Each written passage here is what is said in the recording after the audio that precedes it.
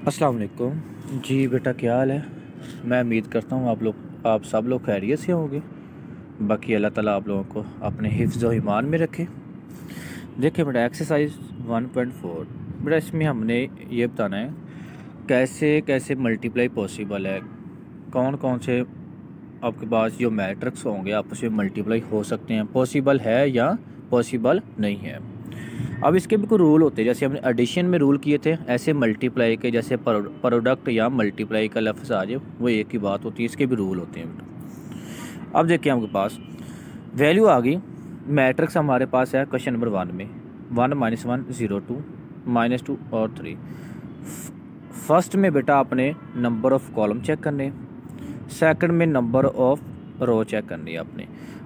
अगर ये दोनों सेम हुई मतलब फ़र्स्ट में नंबर ऑफ़ रो और सेकंड में फ़र्स्ट में नंबर ऑफ़ कॉलम सेकंड में नंबर ऑफ़ रो दोनों सेम हो इक्वल हो, तब मल्टीप्लाई पॉसिबल होगी। वैसे इनकी मल्टीप्लाई पॉसिबल पॉसिबल नहीं होगी। अब देखें फ़र्स्ट में हमारे पास क्या है? नंबर ऑफ़ कॉलम टू है। सेकंड में नंबर ऑफ़ रो हमारे पास टू है। फ़र्स्ट में नंबर ऑफ़ कॉलम टू है। सेकंड में नंबर ऑफ़ रो टू है। तो ये दोनों इक्वल हैं?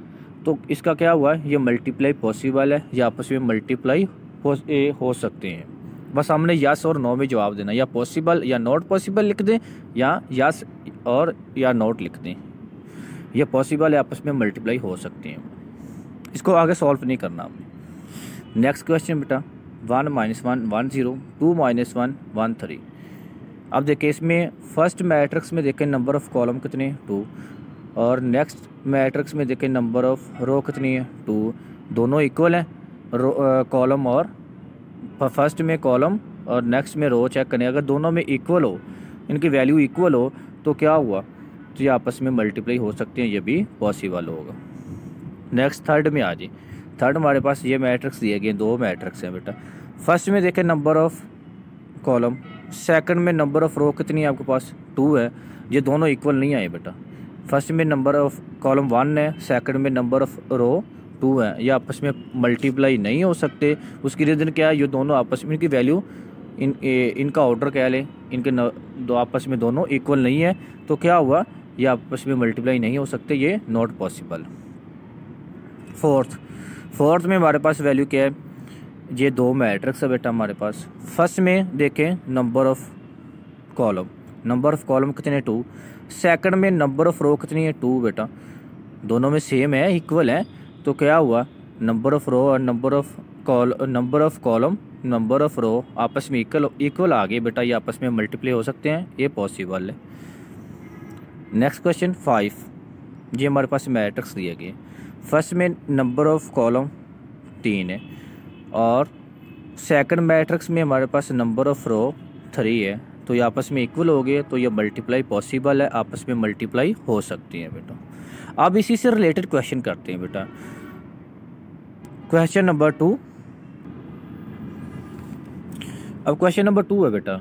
इसको हमने सिंप्लीफाई करना है। ए बी हमें मैट्रिक्स दिए गए। दो क्वेश्चन दिए गए। ए बी और बी ए ये टू क्वेश्चन है, इनको हमने सॉल्व करना है सिंप्लीफाई करना है। पहला मैट्रिक्स ए बी पहली वैल्यू ए बी हमने फाइंड करना है। ये पॉसिबल है तो मल्टीप्लाई कैसे होगा? अब देखें।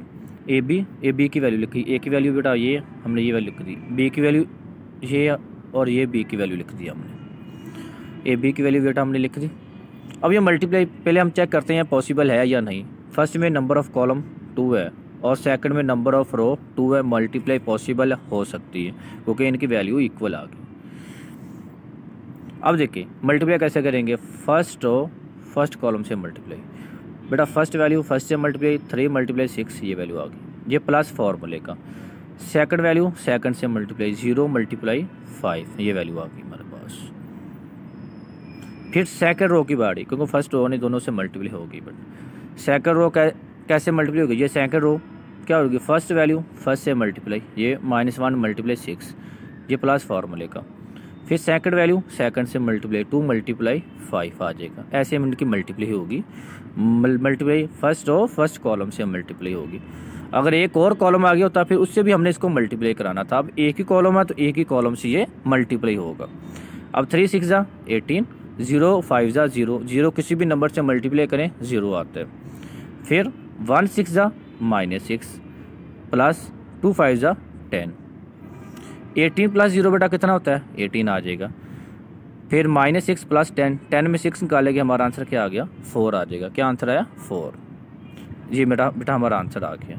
अगला क्वेश्चन है बी ए बी ए पहले बी लिखा, पहले हम बी की वैल्यू लिखेंगे। बाद में ए लिखा, बाद में ए की वैल्यू लिख देंगे। पहले बी मैट्रिक्स बाद में ए मैट्रिक्स अब देखिए फ़र्स्ट में चेक करें। इन, इनके number of row number of column और रो चेक करें। जिसको आप ऑर्डर भी कह सकते हैं। नंबर ऑफ़ कॉलम कितने वन फ़र्स्ट में। और सेकंड में नंबर ऑफ़ रो कितनी है? टू है। नंबर ऑफ़ रो कितनी आ रही? टू आ रही। ये दोनों इक्वल नहीं आई। अगर इक्वल आती, column column and row equal आती बेटा, तब भी इनकी मल्टीप्लाई पॉसिबल थी। अब इनकी मल्टीप्लाई पॉसिबल नहीं। हम क्या लिखेंगे यहाँ पे? नॉट पॉसिबल ये क्वेश्चन सॉल्व नहीं हो सकता। इसकी रीज़न ये है, इनके नंबर ऑफ़ कॉलम और नंबर ऑफ़ रो इक्वल नहीं है। इसलिए ये मल्टीप्लाई नहीं हो सकती। उम्मीद है बेटा आप लोगों को इन क्वेश्चन की समझ आई होगी। बेटा फिर भी किसी बच्चे का क्वेश्चन हुआ तो मुझे बता दीजिएगा। मैं वो क्वेश्चन दोबारा रिवाइज़ करा दूँगा। ओके बेटा, अल्लाह हाफिज़, अपना ख्याल रखिएगा।